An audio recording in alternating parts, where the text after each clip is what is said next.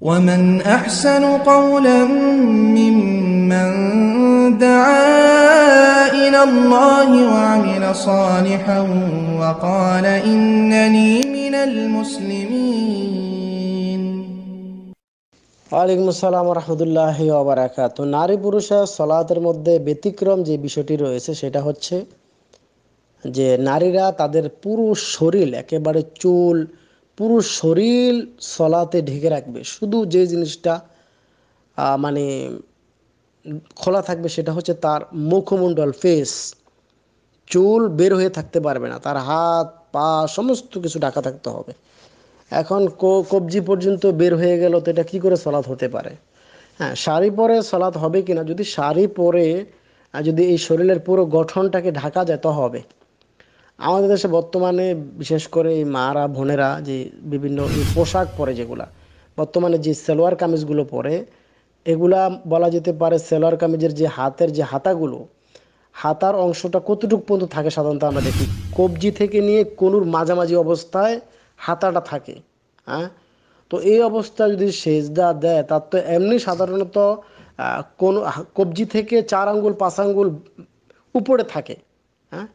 তো যখন সেজদা দিবে তখন তো পুরো অংশটি আরও বের হয়ে যাবে। সেজদা দিলে সাধারণত কাপড়টা আরও খিঁচবে। তো মোটামুটি বলা যেতে পারে একেবারে কনুর কাছাকাছি চলে আসে। তো এই অবস্থায় কী করে সরাতে হবে? এটা সবার ফ্যামিলিকে এই বিষয়টা নিয়ে সাবধান করা দরকার যে নারীদের জন্য সলাতের মধ্যে মানে এটা একটা ইম্পর্টেন্ট একটা গুরুত্বপূর্ণ বিষয় যে নারীদের কোনো কিছু দেখা থাকবে না। মানে সমস্ত কিছু ডেকে থাকতে হবে। শুধু পেস মুখমণ্ডল যেটাকে বলা হয় হ্যাঁ? এই জিনিসটা শুধু প্রকাশ পাবে মানে এই জিনিসটা তাও মানে আচ্ছায়িত করে রাখা হবে। মানে জিনিসটা খোলা থাকবে সামনে। নারীদের চুল যদি বের হয়, তার সলাৎ হবে না। যেমনটি বললেন, পা পার একেবারে নলা পর্যন্ত দেখা যাচ্ছে হ্যাঁ? এরকম না। বরং নারীরা এই সলাতের জন্য আলাদা একটা ড্রেস বানাইতে হবে। আর আমাদের দেশে কালচার হয়ে গেছে। এখন আলহামদুলিল্লাহ আমাদের অনেকের ফ্যামিলি যা বিশেষ করে আমার ফ্যামিলি যেহেতু আমরা আগে নিজেদের ফ্যামিলির কথা হিসাবটা করব, অনেককে আমরা বিষয়টা সাবধান করতে পেরেছি, আলহামদুলিল্লাহ। কিন্তু অনেক দিনই ভাইরা আছে তারা ফ্যামিলিকে সাবধান করতে পারে না। এটা কিন্তু আসলে আগে থেকে কালচার চলে আসছে বাংলা ভাষাভাষীর মধ্যে অথবা বাংলাদেশ, ইন্ডিয়া এইগুলা যে কালচারটা এটা কিন্তু আসলে শাড়ি পরাটা এটা মুসলিমদের পোশাক নয়, মুসলিমদের কালচারও নয়। দেখুন পাকিস্তান এটা কিন্তু শাড়ি পরে না অন্তত, খুব কম, যদি এক দুই দুদিন পড়তে পারে।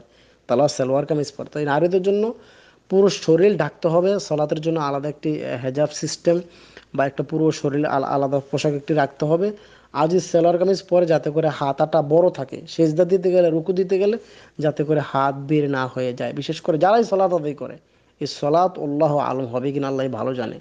তবে এটা নিশ্চিত যে আলেমদের ফতু অনুযায়ী যে নারীদের যদি শরীরের কোনো অঙ্গ প্রত্যঙ্গ প্রকাশ পেয়ে যায়, হাত, পা, চুল, তো এই সলাৎ হবে না। এখন এটা কতটুকু সেই ব্যক্তি গুরুত্ব বুঝে আল্লাহই জানে।